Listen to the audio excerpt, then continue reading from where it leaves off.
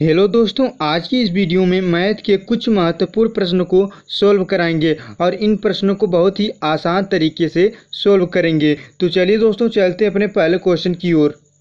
Question number one देखिए दोस्तों, ये सभी प्रश्न अल्सीयम से संबंधित हैं, ठीक है? तो हमें क्या करना है? सब प्रश्न में अल्सीयम निकालना है। तो चलिए दोस्तों, पहले क्वेश्चन को सोल्व करते हैं। पहले क्वेश्चन में क्या दिया है? अट्ठारह, इक्कीस, चौबीस, सत्ताईस, ठीक है? तो क्या करना है? इसका अल्सीयम निकालेंगे। किस विधि से? देखिए दोस्तों, हम भाग विधि से निकालेंगे, ठीक है? अगर आपको गुणनखंड विधि से भी जानना होगा तो हम अगली वीडियो में आपको बता देंगे। तो चलिए पहले इसे सोल्व करते हैं। देखिए दोस्तों, इसे कैसे सोल्व करते हैं? देखिए दोस्तों, इसमें एक नियम है, ठीक है? क्या है कि सबसे पहले इसे छोटी छोटी संख्या काटेंगे, ठीक है? दो से, फिर तीन से, फिर चार से, फिर पाँच से, फिर छः से, ठीक है? तो चलिए इसे सोल्व करते हैं। पहले क्या करेंगे? पहले दो से काटेंगे। दो से काटेंगे तो देखिए दोस्तों, अट्ठारह। अट्ठारह नौ गुना का कितना होता है? अट्ठारह, ठीक है? और इक्कीस। देखिए दोस्तों, इक्कीस नहीं कटेगा, ठीक है? इक्कीस नहीं कटेगा। और फिर क्या दिया है? चौबीस। चौबीस में दो से भाग देंगे तो क्या हो जाएगा? बारह हो जाएगा। और यहाँ पर क्या हो जाएगा? सत्ताईस, क्योंकि दो से सत्ताईस भी नहीं कटेगा। तो देखिए दोस्तों, क्या बचा? नौ, इक्कीस, बारह, सत्ताईस। देखिए दोस्तों, अब इक्कीस से कर सकता है। दो से कर सकता है, नहीं कटेगा, ठीक है? तो क्या करेंगे? तीन से काटेंगे। तीन से काटेंगे, ठीक है? तो तीन से काटेंगे, क्या हो जाएगा? तीन तरीके नौ। यहाँ पर क्या हो जाएगा? तीन हो जाएगा, ठीक है? और फिर देखिए यहाँ पर इक्कीस दिया है। अगर तीन से हम इक्कीस में भाग देंगे तो कितना बार जाएगा? सात बार। सात बार हो जाएगा, ठीक है? उसके बाद तीन से हम बारह में भाग देंगे तो क्या हो जाएगा? चार हो जाएगा, ठीक है? और फिर तीन से हम सत्ताईस में भाग देंगे तो कितना बार जाएगा? नौ बार जाएगा, ठीक है? फिर देखिए दोस्तों, अब दो संख्याएँ कट रही हैं, तीन और नौ, ठीक है? किस संख्या से कट रही है? तीन संख्या से कट रही है। तो हम तीन तो क्या करेंगे? तीन में तीन से भाग देंगे तो एक बार जाएगा और तीन से सात कटेगा, नहीं तो उसी तरह हम उसे उतार लेंगे, ठीक है? और फिर तीन से चार में व्यक्त भाग नहीं जाएगा तो हम क्या करेंगे? चार को भी सिंपल तरीके से उतार लेंगे। और फिर तीन से नौ में भाग देंगे तो कितना बार जाएगा? तीन बार। तो यहाँ पर तीन हो जाएगा, ठीक है? तो अब क्या करेंगे दोस्तों? देखिए क्या आ गया? दो, तीन तीन, और क्या बचा? सात, चार, तीन। तो क्या करेंगे? देखिए दोस्तों, क्या करेंगे अब? दो का मल्टीप्लाई तीन में करेंगे, ठीक है? फिर तीन का मल्टीप्लाई तीन में करेंगे, उसके बाद तीन का मल्टीप्लाई सात में करेंगे, और सात का मल्टीप्लाई चार में करेंगे, चार का मल्टीप्लाई तीन में करेंगे, ठीक है? तो चलिए इसे मल्टीप्लाई कर लेते हैं। दो गुने तीन गुने तीन गुने सात गुने चार गुने तीन। देखिए दोस्तों, अब इनका आपस में मल्टीप्लाई करेंगे तो कितना आ जाएगा? पंद्रह सौ बारह पंद्रह सौ बारह आ जाएगा। देखिए दोस्तों ऑप्शन नंबर बी में कितना दिया है? पंद्रह सौ सत्रह। यहाँ पर मिस प्रिंटिंग हो गई है। पंद्रह सौ सत्रह की जगह कितना हो जाएगा? पंद्रह सौ बारह होगा। ठीक है दोस्तों? तो ऑप्शन नंबर बी हमारा सही हो जाएगा। तो चलिए दोस्तों चलते अपने नेक्स्ट क्वेश्चन पर। क्वेश्चन नंबर दूसरा, देखिए दोस्तों, क्वेश्चन नंबर दूसरे में भी क्या करना है? एलसीएम निकालना है, ठीक है?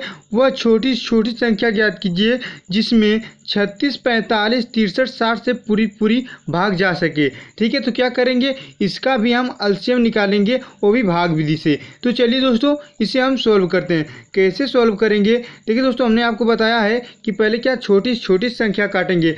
जब पहले दो से काटेंगे, अब दो से नहीं कटेगा तो फिर तीन से काटेंगे, तीन से नहीं कटेगा तो फिर चार से। इसी तरह आगे बढ़ते चले जाएँगे, ठीक है? तो पहले क्या करेंगे? दो से काटते हैं। देखिए दोस्तों, यहाँ पर दो अगर दो से हम छत्तीस में भाग देंगे तो कितना आ जाएगा? अट्ठारह आ जाएगा। कितना आ जाएगा? अट्ठारह आ जाएगा। और दो से हम पैंतालीस में भाग देंगे तो पैंतालीस नहीं कटेगा तो इसे क्या करेंगे? सिंपल तरीके से उतार लेंगे, ठीक है? और तिरसठ में भाग दो से देंगे तो भी नहीं जाएगा, ठीक है? तो क्या करेंगे? इसे भी उसी तरह उतार लेंगे। अब क्या करेंगे? दो में साठ से भाग देंगे तो कितना बार जाएगा? तीस हो जाएगा। तो कितना आ गया? अट्ठारह, पैंतालीस तिरसठ, तीस, ठीक है? अब क्या करेंगे? देखिए दोस्तों, जब तक दो संख्याएँ दो संख्याएँ आने की दो एक संख्या से कटती हो, जब तक दो संख्या एक संख्या से कटती हो, तब तक काटते रहेंगे, ठीक है? तो अब क्या करेंगे? फिर दो से काटेंगे। दो से काटेंगे तो क्या हो जाएगा? देखिए दो से अगर अट्ठारह में भाग देंगे तो कितना हो जाएगा? नौ हो जाएगा।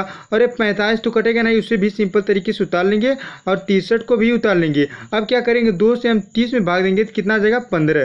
देखिए दोस्तों, अब क्या आ गया? नौ, पैंतालीस तिरसठ पंद्रह। देखिए दोस्तों, अब ये दो से कटेगा, नहीं कटेगा। तो क्या करेंगे हम? तीन से काट के देखते हैं। ठीक है, अब से तीन से काटेंगे तो क्या हो जाएगा? तीन में नौ से भाग देंगे तो कितना आया? तीन आ जाएगा। ठीक है, फिर तीन से पैंतालीस में भाग देंगे तो कितना आ जाएगा? पंद्रह आ जाएगा। और तीन से तिरसठ में भाग देंगे तो इक्कीस आ जाएगा। और तीन से हम पंद्रह में भाग देंगे तो कितना आ जाएगा? पाँच आ जाएगा। ठीक है, देखिए दोस्तों, अब तीन से काटते हैं। देखिए, तीन से संख्याएँ कटेंगी यहाँ कटेंगी तो हम इसे काटते हैं। करेंगे? तीन से तीन में भाग देंगे तो एक बार जाएगा। और तीन से हम पंद्रह में भाग देंगे तो पाँच बार जाएगा और तीन से हम इक्कीस में भाग देंगे तो सात बार जाएगा और तीन में पाँच से भाग देंगे तो भाग ही नहीं जाएगी। तो क्या करेंगे? पाँच को सिंपल तरीके से उतार लेंगे। देखिए दोस्तों, अब दो संख्याएँ पाँच से कट रही है तो क्या करेंगे? हम पाँच से काटेंगे, ठीक है? पाँच से काटेंगे तो एक तो सिंपल उतर जाएगा, फिर पाँच में पाँच से भाग देंगे तो एक आएगा और सात कटेगा, सात को उतार लेंगे, फिर पाँच में पाँच से भाग देंगे तो एक आ जाएगा। देखिए दोस्तों, कितना आ गया? दो, तीन तीन, पाँच और क्या बचा? सात। ठीक है? तो क्या करेंगे? ये कि दो में दो से गुना करेंगे, फिर जो संख्या प्राप्त होगी इसमें करेंगे, फिर इसमें करेंगे, फिर इसमें करेंगे, ठीक है? फिर इसमें फिर इसमें फिर इसमें, ठीक है? तो चलिए दोस्तों मल्टीप्लाई करके देख लेते हैं। तो क्या हो जाएगा? दो। देखिए दोस्तों, दो गुने दो गुने क्या हुआ? दो गुने दो हो गया तो तीन गुने तीन गुणे पाँच। गुणे कितना बचा? सात। ठीक है? गुणे सात हो जाएगा। अब क्या करेंगे? इनका आपस में गुड़ा करेंगे तो कितना आ जाएगा? बारह सौ साठ आ जाएगा। कितना आ जाएगा? बारह सौ साठ आ जाएगा। ठीक है दोस्तों? किस ऑप्शन दिया? ऑप्शन नंबर ए में दिया है। तो ऑप्शन नंबर ए हमारा सही हो जाएगा। तो चलिए दोस्तों, चलते हैं अपने अगले क्वेश्चन पर। क्वेश्चन नंबर तीसरा, देखिए दोस्तों क्वेश्चन नंबर तीसरे में क्या करना है? इसमें भी हमें एलसीएम निकालना है। किसका? चालीस पचास साठ का। ठीक है? तो चलिए दोस्तों, इसका एलसीएम निकालते हैं। क्या हो जाएगा? चालीस पचास साठ, ठीक है? तो देखिए दोस्तों, हम क्या करेंगे इसे? पहले छोटी छोटी संख्या नहीं काट करेंगे, ठीक है? अगर आपको एलसीएम आता है तो आप बहुत ही बड़ी, यानी कि दस से पहले हम काट देंगे। तो देखिए दोस्तों, क्या करेंगे? पहले हम इसे दस से काटेंगे। देखिए, दस से तीनों संख्या कट रही है, ठीक है? तो क्या करेंगे? दस से अगर हम चालीस में भाग देंगे तो चार बार जाएगा, और पचास में देंगे तो पाँच बार, और साठ में देंगे तो छः बार। देखिए दोस्तों, चार, पाँच छः ठीक है? चार, पाँच छः तो देखिए दोस्तों, अब दो संख्याएँ कटेंगी, चार और छः दो से कट जाएँगे, ठीक है? तो इसे हम दो से काट लेते हैं। तो कितना जाएगा, दो में दो से भाग देंगे, दो बचेगा और पाँच तो कटेगा नहीं, इसे उतार लेंगे। ठीक है, यहाँ पर क्या बचेगा जाएगा? तीन, ठीक है? दो में छः से भाग देंगे, तीन हो जाएगा। अब देखिए दोस्तों, क्या कर लेंगे? दस में दो से गुना करेंगे, ठीक है? जो संख्या आगे, फिर इसमें गुना करेंगे, फिर इसमें फिर इसमें, ठीक है? तो चलिए दोस्तों गुना कर लेते हैं। क्या हो जाएगा? दस गुने दो गुने दो गुने पाँच गुने तीन। ठीक है? तो क्या करेंगे? इसे आपस में गुणा कर लेंगे तो कितना आ जाएगा? छः सौ आ जाएगा। देखिए दोस्तों, कितना आ जाएगा? छः सौ। आने के छः सौ सेंटीमीटर आया, ठीक है? अब इसे हम मीटर में बदलेंगे तो कितना आ जाएगा? छः कितना आ जाएगा? छः मीटर आएगा, ठीक है दोस्तों? कितना मीटर आएगा? छः मीटर। किस ऑप्शन दिया? ऑप्शन नंबर बी में दिया तो ऑप्शन नंबर बी हमारा से हो जाएगा। तो चलिए दोस्तों, चलते अपने नेक्स्ट क्वेश्चन पर। क्वेश्चन नंबर चार। देखिए दोस्तों, क्वेश्चन नंबर चार में क्या करना है? इसमें भी हमें एलसीएम ज्ञात करना है। तो कैसे ज्ञात करना है? चलिए दोस्तों, हम इसे सॉल्व करते हैं। वह न्यूनतम संख्या ज्ञात कीजिए, जो बारह तक के सभी सम संख्याओं से पूरी पूरी कर जाए। देखिए दोस्तों, क्या करना सम संख्या बारह तक कौन कौन सी है? पहले हम उसे लिख लेंगे, उसके बाद उसका एलसीएम निकालेंगे। तो चलिए दोस्तों, इसे हम सॉल्व करते हैं। तो देखिए दोस्तों, पहले क्या हो जाएगा? सम संख्या दो, चार छ आठ, दस बारह। देखिए दोस्तों, सम संख्या हमने लिख ली। क्या है? दो, चार छः आठ, दस, बारह। अब क्या करेंगे? इसका अल्सियम निकालेंगे। तो क्या करेंगे? इससे पहले दो से काटेंगे, ठीक है? तो चलिए दोस्तों, इसे सॉल्व कर लेते हैं। क्या करेंगे? पहले से दो से काटेंगे। तो क्या दो में दो से भाग देंगे तो एक आएगा। फिर चार में दो आएगा। फिर छः में तीन आएगा। फिर चार आएगा। फिर पाँच आएगा। फिर छः आएगा। देखिए, दो से इन सब संख्याओं में भाग देंगे तो कितना आ गया? एक, दो, तीन, चार, पाँच छः ठीक है? अब क्या करेंगे? फिर दो से भाग देंगे, ठीक है? दो से भाग देंगे तो एक तो कटेगा नहीं, एक इसी तरह रहेगा। फिर दो में दो से भाग देंगे, एक बचेगा। फिर तीन तो कटेगा नहीं, तीन को सिंपल तरीके से उतार लेंगे। फिर दो में चार से क्या करेंगे? भाग देंगे तो क्या बचेगा? दो बचेगा। फिर यहाँ पर पाँच तो कटेगा नहीं तो पाँच को उतार लेंगे, ठीक है? उसके बाद क्या करेंगे? दो में छः से भाग देंगे तो क्या बचेगा? तीन बचेगा। देखिए दोस्तों, अब दो संख्याएँ कौन से कौन से कट रहे हैं? तीन तीन, ठीक है? तो इसमें क्या करेंगे? तीन से तो इसमें क्या करेंगे? तीन से तो क्या करेंगे इसमें? तीन से भाग देंगे, ठीक है? तो तीन यहाँ पर एक हो जाएगा, यहाँ पर भी एक हो जाएगा। तीन में तीन से भागे देंगे तो एक बचेगा, फिर उसके बाद दो दो में तो तीन से भाग जाएगी नहीं, फिर पाँच में नहीं जाएगी तो यहाँ पर क्या हो जाएगा? पाँच और यहाँ पर एक, ठीक है? तो क्या करेंगे अब? इनका आपस में गुना कर लेंगे तो हमारी संख्या प्राप्त हो जाएगी। तो क्या हो जाएगा? दो गुने दो गुने तीन गुने दो गुने पाँच। देखिए दोस्तों, हमने क्या किया? पहले दो इसको लिखा, फिर इसको फिर इसको फिर इसको फिर इसको, ठीक है? तो क्या करेंगे? इनका आपस में गुना कर लेंगे तो कितना हो जाएगा? एक सौ बीस हो जाएगा, ठीक है? कितना हो जाएगा? एक सौ बीस। किस ऑप्शन में दिया? ऑप्शन नंबर ए में दिया है तो ऑप्शन नंबर ए हमारा से हो जाएगा। तो चलिए दोस्तों, चलते अपने अगले क्वेश्चन पर। क्वेश्चन नंबर पाँचवा, देखिए दोस्तों, क्वेश्चन नंबर पाँचवें में क्या करना है? इसमें भी हमें एलसीएम ज्ञात करना है।